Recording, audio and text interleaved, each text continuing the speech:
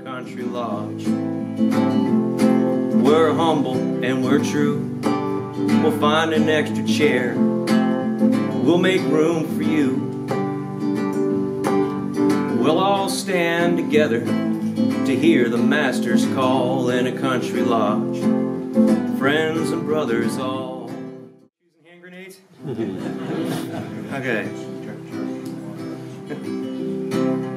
Second Sunday of the month, we'd wear our Sunday best to meet upon the level underneath the compass crest.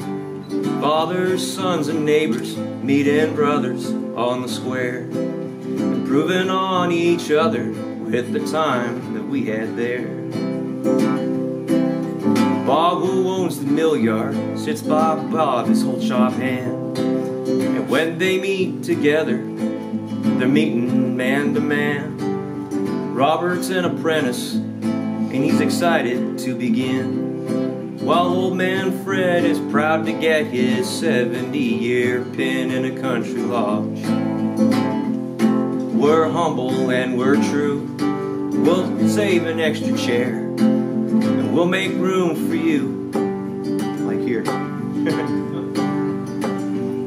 yes, we'll all stand together to hear the master's call in a country lodge. Friends and brothers all. Richard wears his papa's ring with happiness and pride.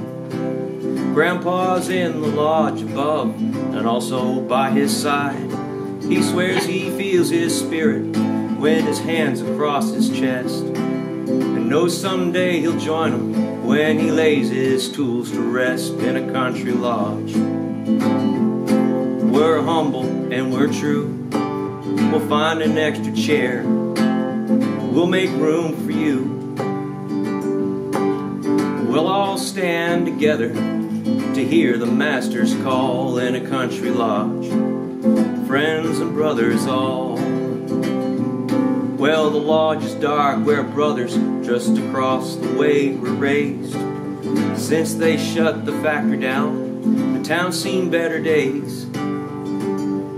So we welcome in our brothers while we lend a welcome hand. Together chipping at the stump to be a better man in the country lodge. We're humble and we're true.